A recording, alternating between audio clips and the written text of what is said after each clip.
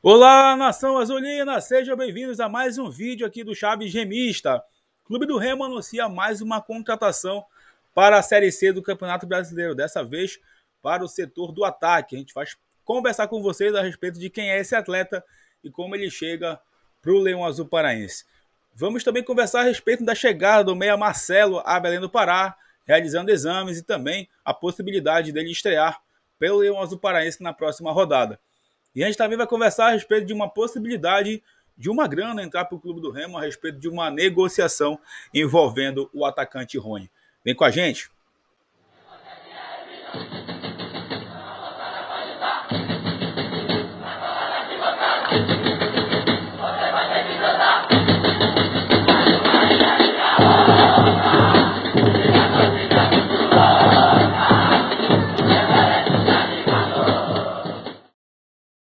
Bom, galera, já peço muito que você deixe o like no vídeo, é muito importante para que ele chegue no máximo de remistas no Brasil e no mundo. É só clicar no botão gostei, que assim o YouTube irá recomendar para mais azulinos conhecerem o nosso canal. E se você é novo ou nova por aqui, sejam bem-vindos, se inscrevam no canal e ativem o sino de notificações.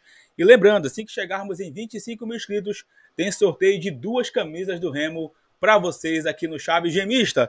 Esse vídeo tem o apoio e patrocínio da Bet Nacional, a Bet do Remo, a Bet da Amazônia, a Bet dos brasileiros, sempre com as melhores cotações do mercado. Futebol nacional, internacional, NBA e muito mais, com a facilidade do depósito e o saque imediato via Pix. É só pegar do celular, apontar para o QR Code na tela, o acessar o primeiro comentário fixado e profetizar com a Bet dos brasileiros. Bom, galera, começar a conversar com vocês nesse vídeo a respeito dessa possibilidade aí do atacante Rony do Palmeiras ser vendido lá para o futebol do Oriente Médio. Que o André Hernan, jornalista ali do estado de São Paulo, trouxe essa informação de que uma equipe do Catar estaria interessada na compra do atacante Rony, algo em torno de 20 milhões de euros aí disposta a pagar para o Palmeiras pelo atacante que hoje inclusive está na seleção brasileira. E o Clube do Remo, por ser a equipe formadora do Rony, teria direito a 2, 3% ali na negociação, algo em torno de um milhão de reais, tá? É, por essa venda. Só para vocês terem uma noção de quanto que isso é pouco, né?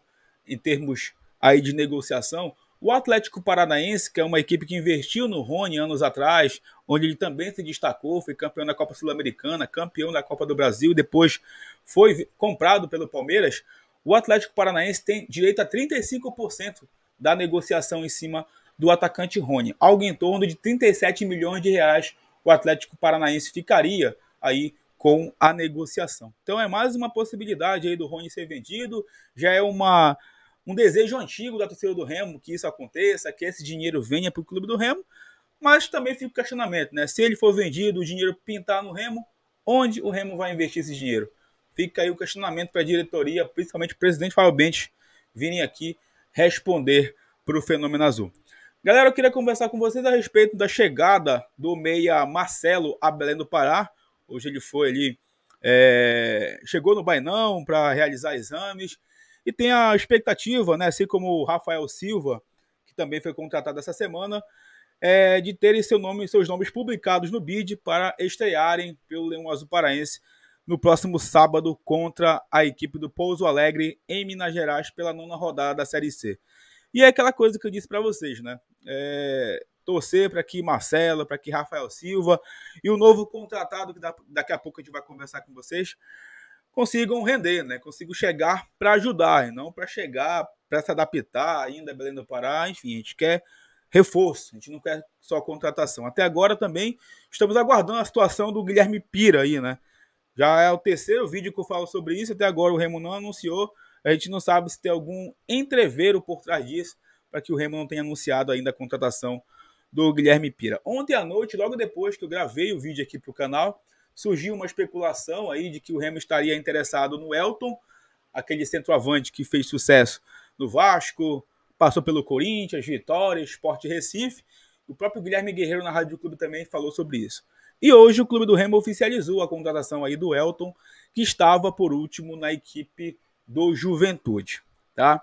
Eu vou só trazer um pouco do histórico aqui do Elton para vocês, tá? Pelas equipes que ele já passou na carreira e pelo momento que ele estava vivendo aí recentemente, tá?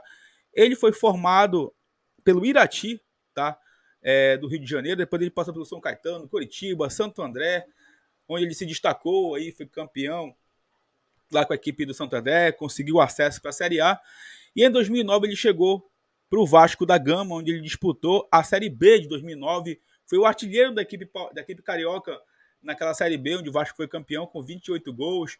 Depois em 2010 também pelo Vasco. 2011, eu lembro muito bem daquele time do Vasco, 2011 ali. Tinha Diego Souza, Alexandre. Acho que foi o último grande time que o Vasco conseguiu formar, né? Depois ele saiu para o Corinthians também, foi campeão da Libertadores, campeão mundial pelo Corinthians, tá? Aquele time comandado pelo Tite.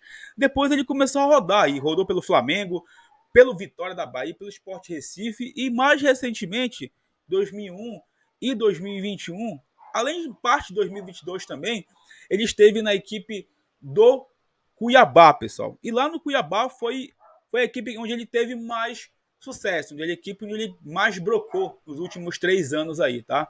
Fez mais de 20 gols aí pela equipe do Cuiabá.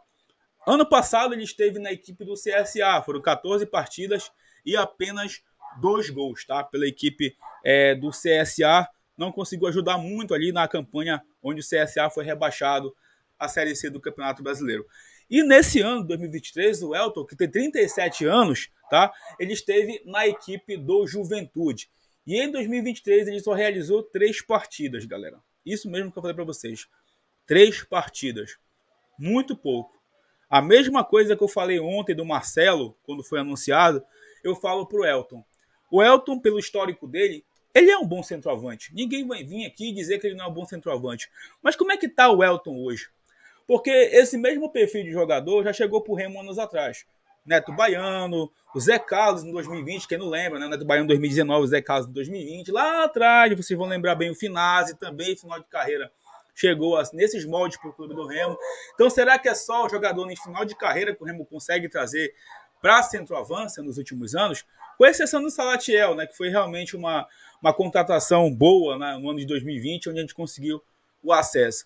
Mas até na Série B a gente não conseguiu aí trazer bons nomes para centroavance. Né? O Neto Pessoa chegou muito tarde naquele ano.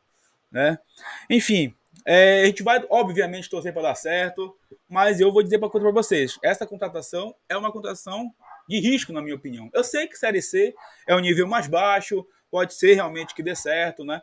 Enfim, só o tempo vai dizer, só a gente aguardar realmente o que vai acontecer para saber se ele vai conseguir render. Inclusive, estava conversando no grupo dos membros mais cedo, a gente estava até falando sobre saber se o sistema de jogo do Remo vai conseguir né, suprir um centroavante. Porque o início do ano o Remo montou uma formação, montou um elenco para não jogar com centroavante. O Marcelo Cabo não queria um centroavante fixo dentro da área.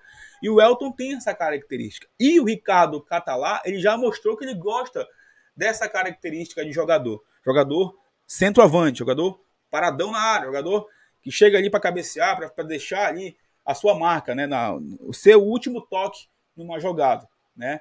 Tanto é que o Fabinho tá, tá jogando nessa posição agora na era Ricardo Catalá, já deixou o gol aí contra a Aparecidense, por muito pouco não fez gol contra a América de Natal também.